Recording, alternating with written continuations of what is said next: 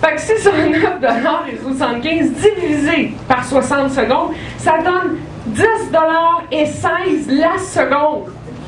10 et 16 la seconde.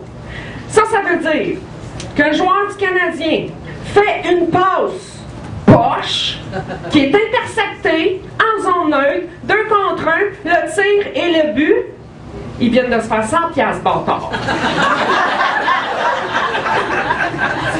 Thank you.